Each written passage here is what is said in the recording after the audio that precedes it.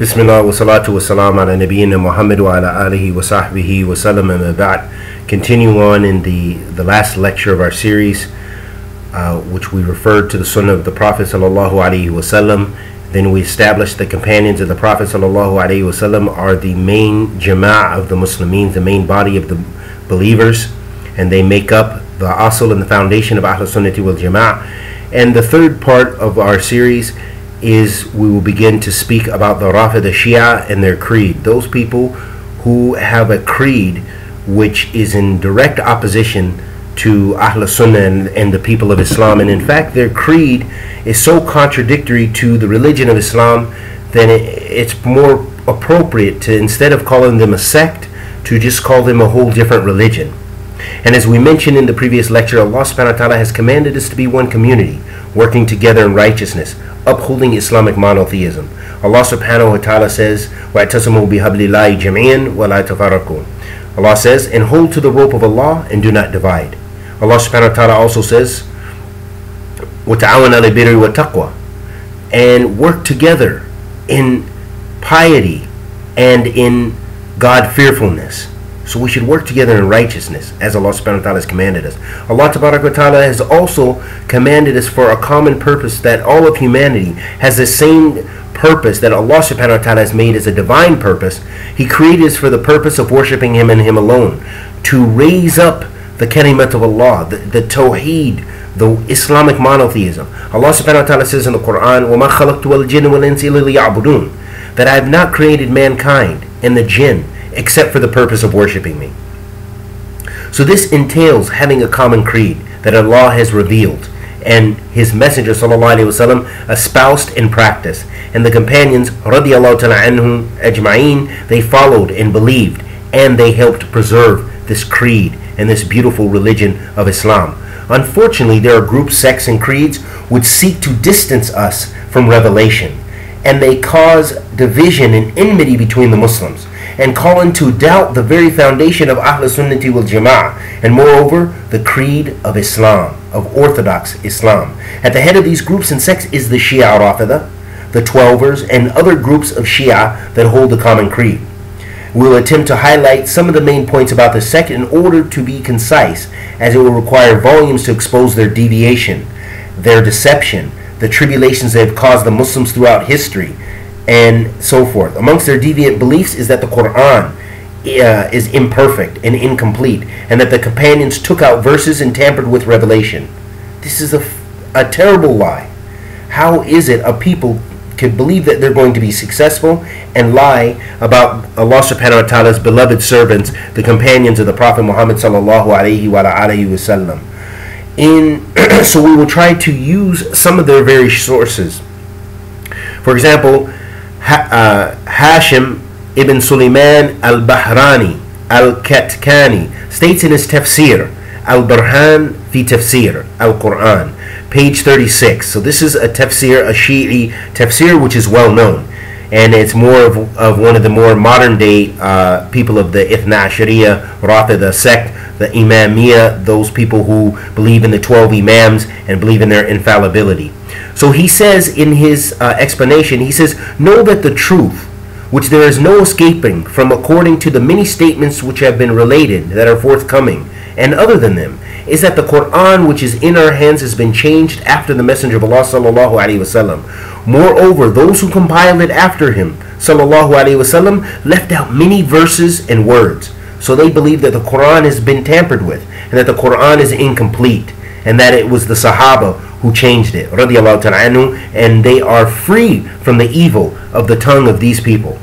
In the book entitled Basair ad-Darajat Basafar, he said, There is no one from the people who can say that he compiled the Quran as it was revealed, except a liar. And no one compiled it and memorized it like it was revealed except Ali ibn Abi Talib and the Imams after him.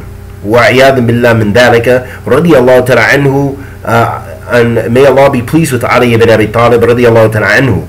So this is a filthy lie on Ali ibn, uh, about Ali ibn Abi Talib and the claim that their imams are infallible and that their imams actually memorized and knew and compiled the Quran better than the companions of the Prophet sallallahu alaihi wasallam. Of course, with their exception of Ali ibn Abi Talib, these are uh, lies which we have no uh, they have no evidence for these statements, but only in their fabricated books of tales and uh, fairy stories in which they have concocted in order to distort the people from the truth. So listen to some of their strange interpretations in their tafsirs. In Tafsir As-Safi by uh, Faid Al-Kashani. This is in the first volume, page 156. And this is the Tafsir, and also this was collected in the Tafsir Al-Burhan, the first volume, page 172. And they say Ja'far said, and he is known by, by Al-Baqir. He says, about the verse where Allah subhanahu wa ta'ala says, إِنَّ اللَّهَ لَا يَغْفِرُ أَن يُشْرِكَ بِهِ وَيَغْفِرُ مَا دُونَ ذَلِكَ لِمَن يَشَاءُ Allah subhanahu wa ta'ala says, Verily Allah does not forgive those who ascribe partners with Him, meaning shirk, but forgives what is other than that for whomsoever He pleases. This is the meaning in English of this, this verse. This verse is referring to shirk and referring to uh, Allah subhanahu wa ta'ala not forgiving being not forgiving shirk especially if someone dies upon shirk, shirk al-akbar, that takes you out of the fold of Islam, Allah doesn't forgive that and they will be in the hellfire forever. This is what Ahl Sunnah understands and what is very apparent from the meaning of the verse. However, here's what they say in their tafsir. They say, which means, when Allah subhanahu wa ta'ala says, Verily Allah does not forgive those who ascribe partners to, to Him, they say, which means He does not forgive those who deny the leadership of Ali, radiallahu ta'ala anhu. And then when Allah subhanahu wa ta'ala says, but forgives what is other than that for whomsoever he pleases, they say, meaning those who support Ali.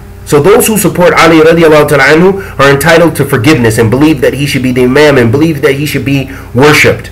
Radiallahu anhu and he is free from those evil uh, from this evil ideology. For those Rafida and Twelvers, one of the most important issues of the religion, and in fact they make it a pillar of Islam, is imamship or leadership or walaya. In their most famous book of Creed, they narrate on Abu Ja'far that he said Islam is built on five things prayer, zakat, hajj, fasting, and leadership. And then uh, Zarara said, I said, which is the most important of those things? He said, leadership. And this is in Usul al Kafi, volume 2, page 18.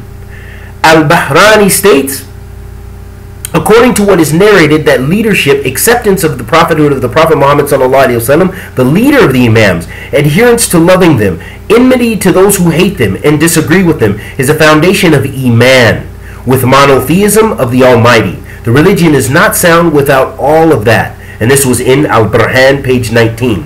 So this is a very strange belief, a belief that is built upon complete fabrications from people we have no idea who these narrators are and their trustworthiness and where they came up with this this uh, creed because in fact it contradicts the very foundation of Islam that we know Islam is built on five pillars and and and to uh, أن تشهد أن لا إله إلا الله وأن محمد رسول الله وتقيم الصلاة وتؤتي الزكاة وتصوم رمضان وتحج البيت إن استطاع إليه سبيل and this is in accordance with the hadith of Jibril that Islam is built based on five pillars that you bear witness that there is no God worthy of worship except Allah and that the Prophet ﷺ was the last prophet and messenger and that you pay the zakat uh, that you fast five times daily prayer that you you uh, pay zakat the alms tax that you fast the month of Ramadan and you make the sacred pilgrimage if you are able to do so. Those are the well-known pillars that come from the Hadith of Jibril and that are mentioned in the Quran. However, these people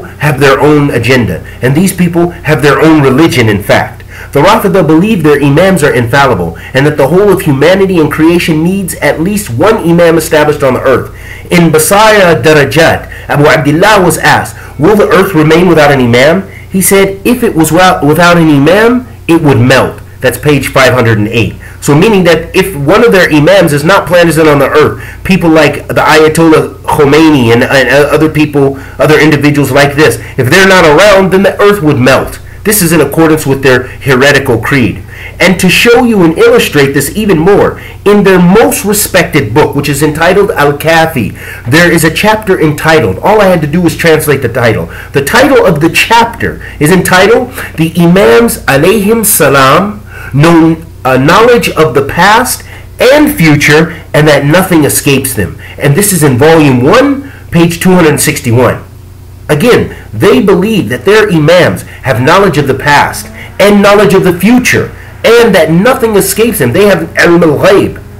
But even the Prophet Muhammad wasallam doesn't know when the hour, as is witnessed in the hadith of Jibril, when he was asked about when is the hour to be established. And the Prophet wasallam said, the questioner knows more, uh, that the, the, the person being asked knows nothing more than the questioner.